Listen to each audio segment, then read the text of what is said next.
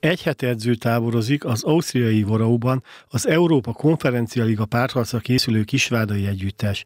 Ott van a keretben a Diósgyőri kölcsönből visszatérő Lukász, és több érkező játékos is tesztelhet a szakmai stáb. A romániai kapus Hindrik Otto mellett a horvát Dominik Kovacsics, a szerb Miros Rányanyin, az észak-macedón Mario Ilievski és a Gyirmutról érkező Széles Imre számít új futbalistának. És új a vezetőedző is, Török László a szakmai munka első számú felelőse.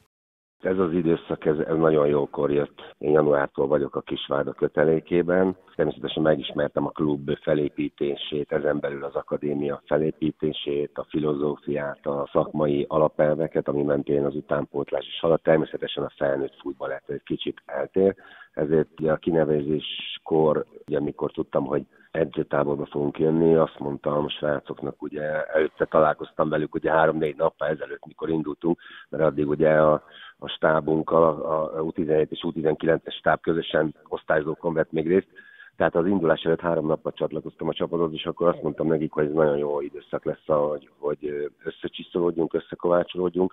Mind értem ezt a stáb tagjaira is, mert hát ugye egy cégnél dolgozunk, de mégis azért nem voltak a mindennapjainkban ezek a találkozások, az edzés vezetések, az egyéb különböző programjaink. Én úgy gondolom, hogy az, új játékosokkal, a, a meglévő játékosok és a szakmai stábbal is napról napra folyamatosan egyre jobb a kommunikációnk, és azt mondhatom, hogy hogy biztos vagyok benne, hogy így szépen lépésekről lépésekre össze fogunk csiszolódni, úgyhogy nem lesz semmilyen jellegű probléma. Eddig is minden gördülékenyen megy.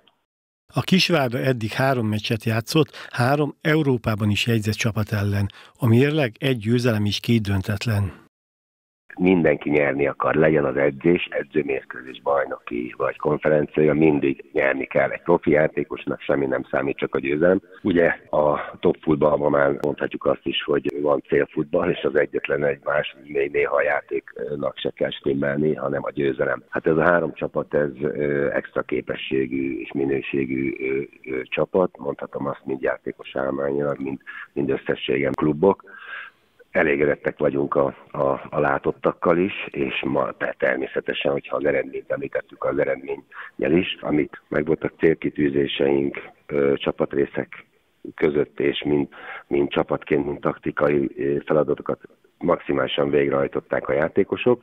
Nagyon kellett ugye logisztikázni a pihenés terhelés arányaival, de azt is el kell mondanom, hogy ezt már az edzőtábor előtti napon sőt azon a héten már össze volt állítva a stáb, nagyon szépen összeállította ki mennyi játékpercen fog szerepelni itt az edzőtábor alatt a, a négy mérkőzésen.